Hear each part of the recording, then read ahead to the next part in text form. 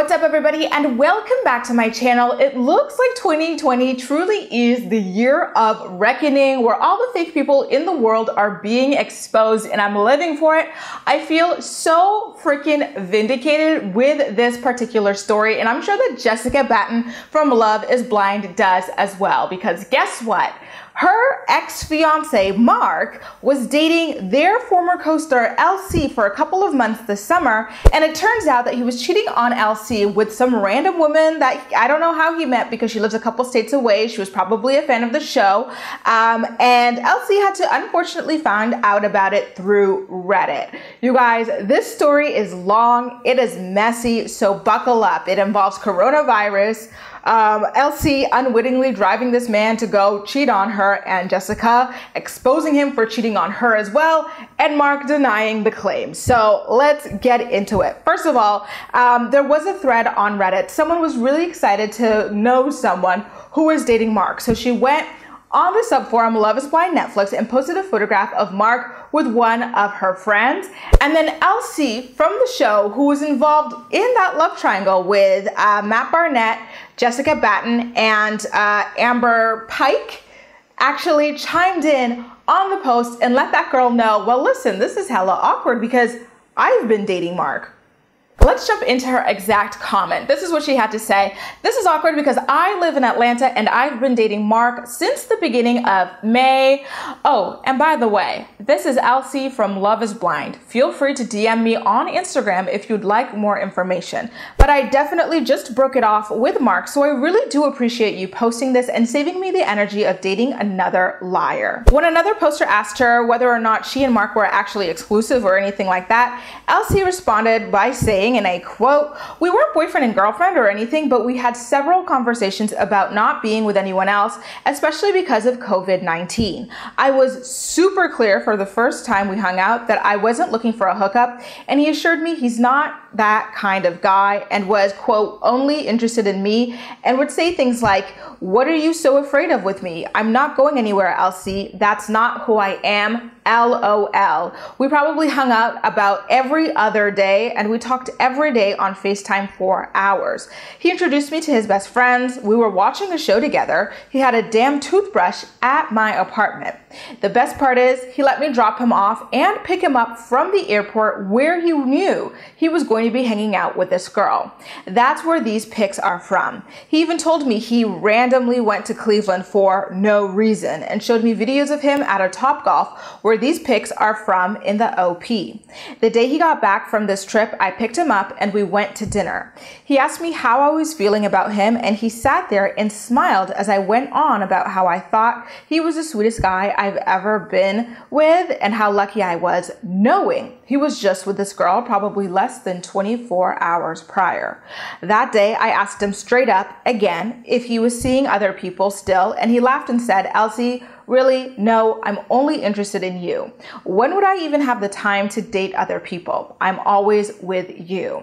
Guess he found the time. How freaking psycho is it that this guy could lie to her face when she asks him if he's seeing other people, he says, No, I'm only with you. I'm only interested in you, knowing that he just stepped off the plane, probably did not even change his airplane clothes from when he was seeing another chick in another state and climbing in her car as she drove him around town. Like, wow, it takes a certain level of like messed up in the head to be able to lie to someone's face like this for literally no reason, especially someone who just wants to have a nice, healthy relationship with you. And especially when you know their past history with relationships and you benefited from playing the ultimate victim on reality television while your former fiance, Mark, her life was almost destroyed because of the games that you played um, with your victimhood, acting like you did not know that that girl did not want to marry you. Like to me, this guy screams all sorts of like, I don't even want to like say it because it's so mean, but like let me just say like it screams personality disorder to me.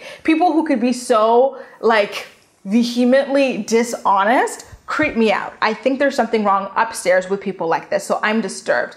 And you know, LC talking about how he had a toothbrush at her apartment. She made it very clear that she only wanted a monogamous relationship and he seemed to have returned the favor with her. Um, her mentioning how they hung out literally every other day, FaceTimed every day. Like she asked him, was he seeing other people? And he claimed that he wasn't. So to me, whether or not they had the boyfriend or girlfriend title, it was clear that they were in some sort of an exclusive relationship working towards that way here. So yes, I would say that Mark did actually cheat on LC. And so this is very disappointing to hear. But again, I'm not surprised because I spent like half of my Love is Blind recaps talking about how manipulative this guy truly is. So, um, you know, and another thing for LC, I feel bad for her because this is the second love triangle she's been with that kind of involves Jessica to a certain extent. Remember, on the show, she was caught in a love triangle web between Barnett, Amber, and Jessica. And now um, she is caught in one with Mark and some other girl. Well, she's not caught in one. She just left the relationship. But Mark is Jessica's ex-fiance. So this is kind of like a little bit of a messy look in the Love is Blind universe. And I wonder if she and Jessica have some kind of a relationship with one another where they could actually talk about this sort of thing. I wonder, I should ask her if LC talked to Jessica before pursuing a relationship with Mark as well, or if they've since connected because now Jessica actually has accused Mark of cheating on her when they were engaged, which we'll get to later on in the video. Right now, we're heading into chapter two in this messy tale, which involves coronavirus. According to um, Lauren, or LC, she's been feeling really sick lately, and so she suspects that she might have coronavirus, and that if she has coronavirus, it may be because Mark has been laying it low and spreading it wide across America. Someone on Reddit caught her uh, leaving a comment in a Love is Blind Facebook group that reads, and I quote, It's too much for me to type out right now. I'm about to go get a freaking COVID 19 test because Mark got me sick. I've been sick since Friday, coughing a lot and had a fever yesterday and Sunday. So that's also adding to why I'm so pissed about all of this. I could not feel any worse for LC than I already do. It has to be humiliating to be dogged out, not once, but twice on a global scale. You know, I'm sure this has her doubting herself and everything. And I it makes me feel bad that that's something that she would be going through because in my opinion, she was one of the most beautiful women on that show. She seemed so sweet, so kind. Like she had a very short cameo, but I remember her having a really big spark. And so I hope that this is not something that makes her second guess herself because this is just an issue with Mark as a person. It has nothing to do with her. If it wasn't her, it would have been someone else. And apparently it already has been someone else and that someone else is Jessica. So I had a DM conversation with Lauren on Instagram to ask her whether or not she's reached out to the other woman to see, you know, her side of things with the story with Mark when they started dating, everything like that. And so she told me that she did actually reach out to the other woman, but that the woman has not responded quite yet. So if that changes, I will definitely let you guys know. But in the meantime, Lauren is standing her ground and saying that yes, Mark is incredibly manipulative and great at pretending that he is a genuine person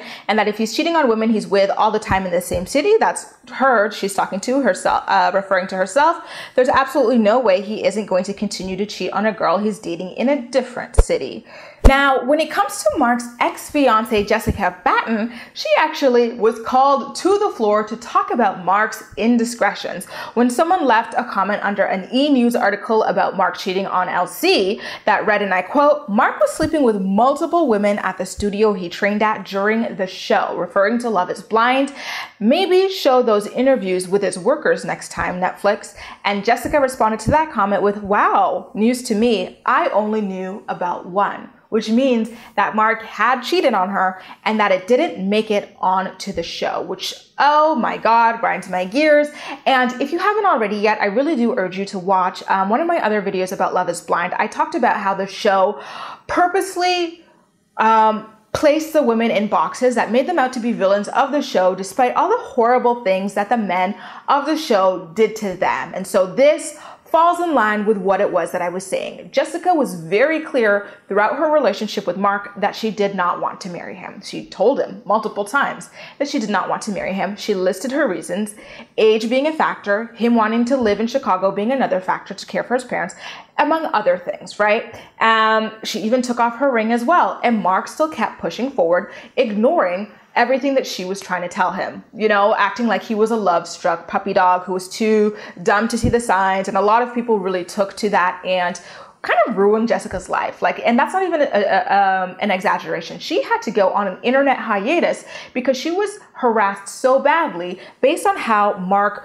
portrayed himself to be the ultimate like reality show victim, knowing damn well that he was apparently cheating on her this whole entire time. And so it seems as though this was an open secret among the Netflix production crew, but somehow it didn't make it onto the show because they were so hell bent on uh, portraying Jessica as the ultimate reality show villain and, you know, allowing her feelings, her mental health, her life to be collateral damage in their pursuit of this. So if you haven't watched that yet, I definitely urge you to watch that video. But I did also have another video about how Jessica was the most important cast member of Love is Blind. Um, and I go into um, a lot of that stuff over there as well. Like Mark, to me, has always screamed master manipulator, bad news. I think he really wanted that sympathy edit um, in order to lure women who watch the show into falling for him so that he can just like sleep with women across America, across the world, or whatever. He's also doing the whole personal training thing too. So he probably wanted to build